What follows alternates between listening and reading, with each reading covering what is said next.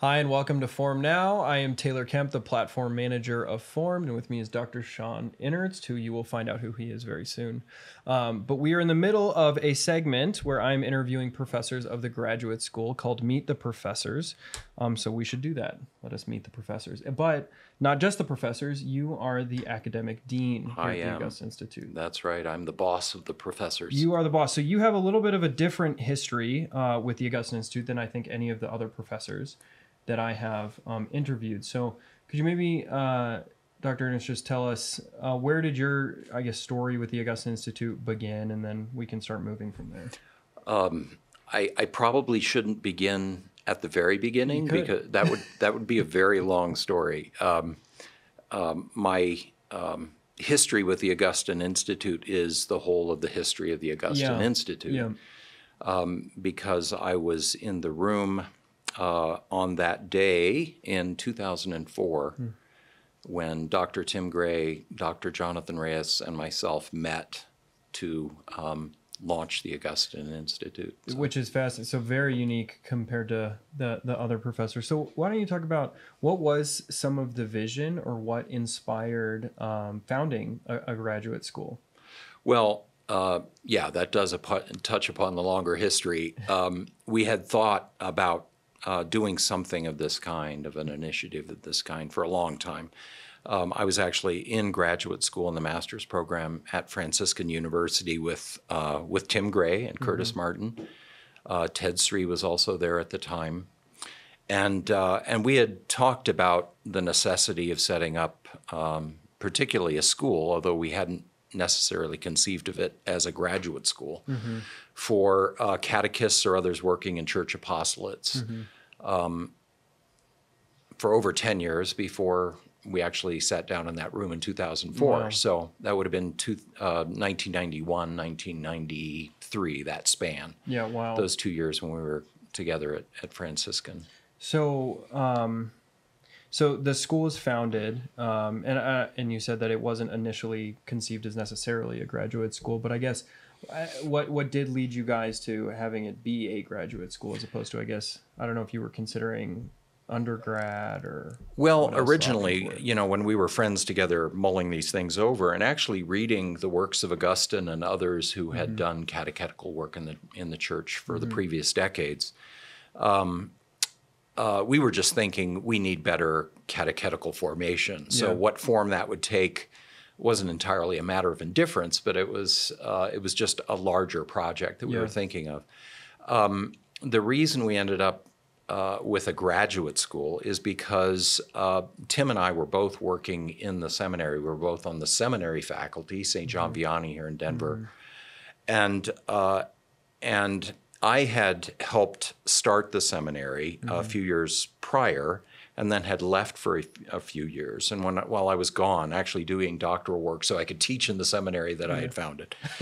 um, I uh, helped found. I shouldn't say I founded it. It was there were much Yeah. higher ups who were who were the agents, but I helped. yeah.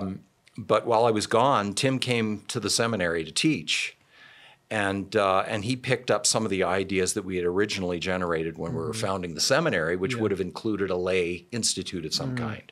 oh. And since the seminary is a graduate school, at least the theology portion of seminary is a graduate program, um, the idea was, well, we'll found a lay institute, which will also be a graduate program, uh, somehow embedded in or connected with, Yeah. or married to, because Yeah. that was one of the ways we thought about uh, the original uh, institute as being married to the seminary as Yeah. a kind of spouse or bride. yeah Tim had uh, carried those ideas forward and was doing uh, some ex- explorations with faculty and uh, benefactors in the Archdiocese of Denver. And, uh, and then uh, I came back after doing graduate work to the seminary. Uh, that would have been 2003. okay And uh, so we mulled this over, did nights of interest to see who might be interested, to, to figure out who would benefit from Yeah. a program like that. We got the ball rolling. Uh, Tim had a conspirator, co-conspirator, Yeah. and myself, and we started, uh, you know, re-enlivening those uh, those thoughts we had had when we were graduate students, and. Um, and so we began to think of this in earnest. Now, the, one of the principal players, of course, was Archbishop Chaput, Yeah. who was the Archbishop of Denver at the time, and uh, he was very supportive. But we we had sort of a struggle trying to figure out whether or not it would begin inside the seminary Yeah, or okay. apart from it. Okay. And and we actually got permission on August first, two thousand and four. Wow. That's really amazing. So Yeah. I wanted to ask, uh, especially because you were the founding dean. Um, I, I, and I know that I'm sure this took shape over the next several years, but Mm-hmm. uh, I've had the privilege of having you as a professor, and I've heard you talk about um, education. I guess what, um, thinking of the name Saint Augustine and, and and thinking through the curriculum, what what are some of the guiding principles of the Augustine Institute and and when when you guys especially as it kind of got refined and it became a graduate school that was separate from the the seminary what was what was the hope of when your graduates would come out myself being one of them what was the hope for what uh, would be given them through this program Well, our hope is realized in you, Taylor. Let me say that first. you had to say that I, I, I'm under no compulsion. I, I, I freely offer that.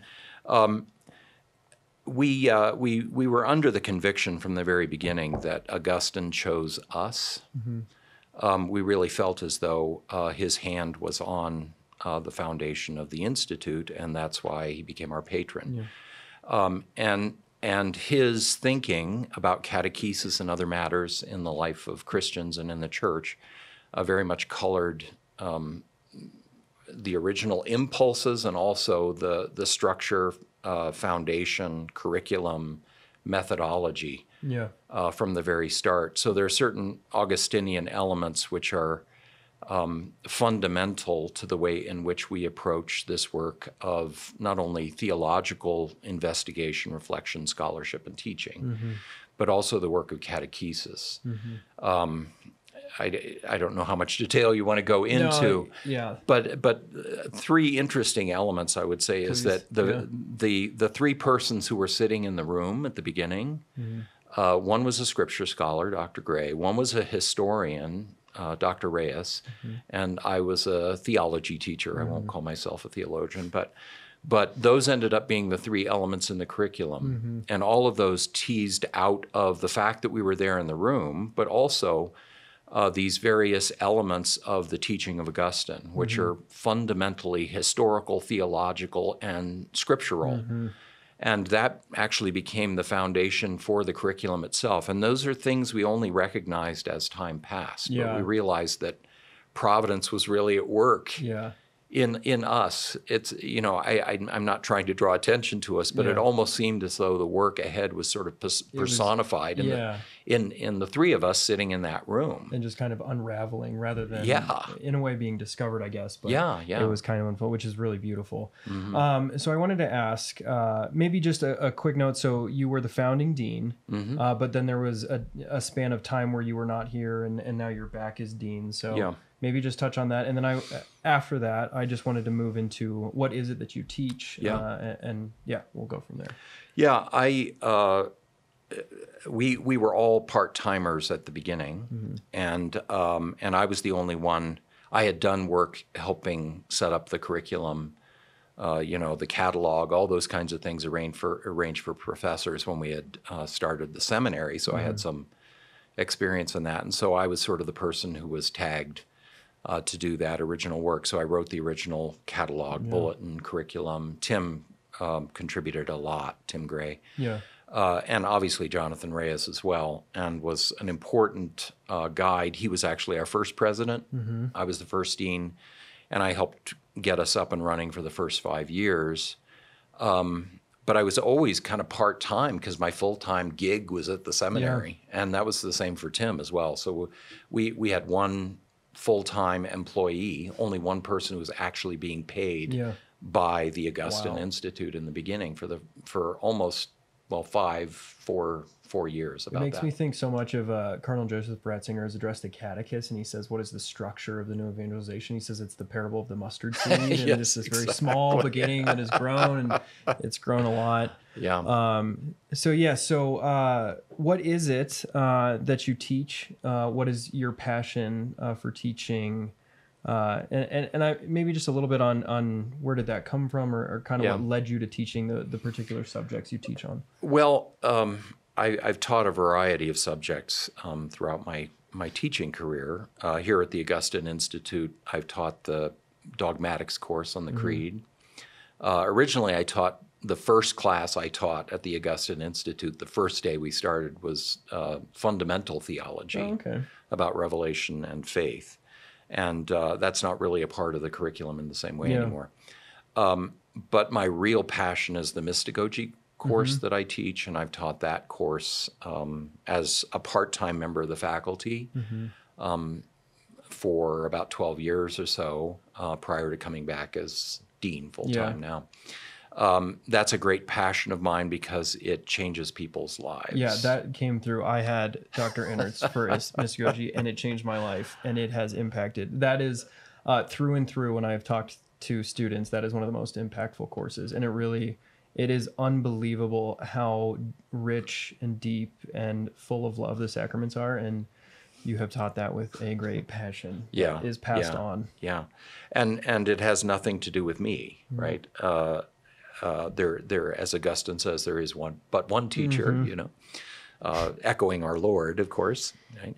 Um, uh, but the course helps people to be well disposed to the reception of sacramental grace, and that is everything Yeah. in Christian life. Um, you know, uh, we become Christians by the grace of the sacraments, the sacrament of baptism, and we maintain our covenant with God through the graces of the sacraments. So, I, as you will have heard me say in that course, uh, the new evangelization, which is the, the primary thing to which the Augustine Institute is committed, depends almost entirely upon disposition to grace. So, and that's that's true of catechesis generally, which is my, you know, broadly speaking, my my passion. But specifically, catechesis about the sacraments. Um, uh, the, the Catechism says that uh, you know the the uh, the church's inner growth and correspondence with the plan of God depends essentially upon catechesis. I would say sacramental catechesis, or what we call mystagogy, is really um, the central core of that catechetical work, and and what that which will make possible the yeah. The new It evangelization. is a beautiful course. day. It's worth if you're at all interested out there in the in the graduate school. I highly recommend it on that testimony alone for mystagogy. Um, I wanted to ask, uh, maybe just a little bit, uh, not to not to downgrade any other graduate program at all, but I did want to just talk about what differentiates uh, the Augustine Institute from what else is out there, especially if there's anybody that's listening uh, that is just curious or or interested. What is makes us a little bit different? Well, um, it's once again it's the Augustinian spirit. Um, the one of the reasons we we sought to found the Augustine Institute as a kind of freestanding entity within the church is that we wanted it to be entirely integral within itself, right? So we didn't want to just borrow courses from some other curriculum and and and put together a kind of patchwork of topics. Uh, the curriculum at the Augustine Institute is an integrated it curriculum which is ordered towards uh, you know a particular end, Mm-hmm. right? So beautifully represented in yourself Yes. as one of its So superlative products. You're gonna make it very. Uh, you're you're setting me up for a fall here, but that's okay. Yeah, well, yes, yeah. Don't yeah, that'll save you from pride.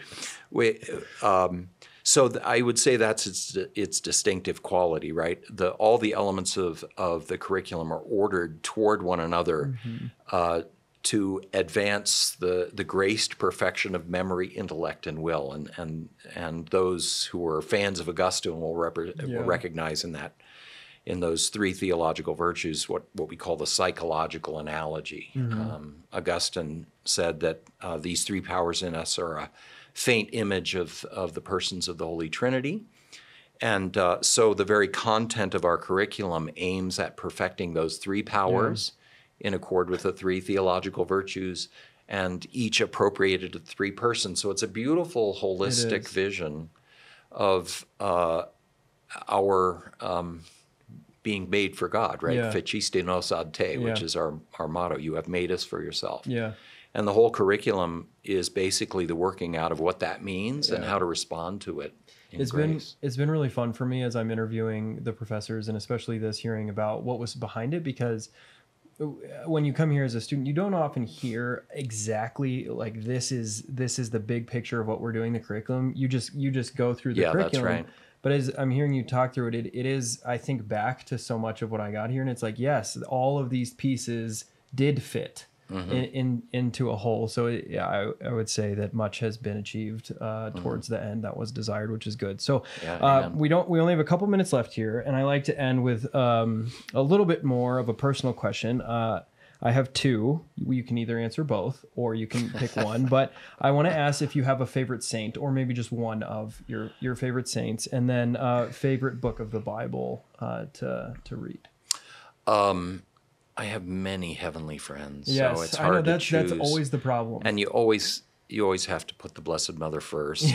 um, and uh, so I've been long consecrated uh, to Jesus through Mary. Mm-hmm. Um, Saint Augustine's very important. I was actually converted by Saint Francis and Hmm. then Padre Pio. i've heard you talk about padre pio Yeah, and I just and he's been. I, I feel as though I'm one of his spiritual children. yeah Uh, but but Saint John the Baptist is my personal patron, interesting and then of course Saint Augustine. Yeah. you know, I wrote my dissertation on Saint Augustine. Yeah. and, and he's been my constant companion. Yeah. you know, as we've done this work at the Augustine yes Institute. the all very good saints so um favorite book of the bible and i guess uh it well question is is your favorite book of the bible to read whether it's uh for to to just learn or devotional uh is it the same as your favorite book of the bible maybe to teach or Uh boy, um, you know, I don't teach Bible. yeah I, I teach I'm about sure the Bible all the time. i'm sure you have taught under other topics, right?